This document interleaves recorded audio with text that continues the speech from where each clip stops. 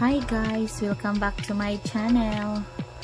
So, nandito naman tayo guys. Ang i-share ko sa inyo kung paano ko linisin ang aking sariling kuko sa paa.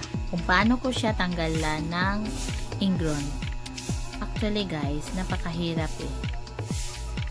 Super hirap yung pagkat at pagtanggal ng cuticle lalo na sarili mong kuko Lalo na katulad ko, malaki na ang bilbil.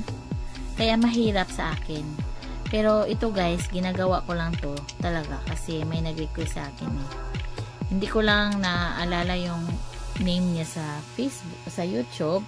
Pero ito, pinagbigyan ko siya.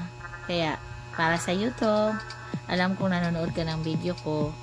At maraming maraming salamat sa lagi mong panood ng mga video ko. At sa lahat-lahat din, sa nag-subscribe, sa nag-support lagi, sa nanood lahat-lahat.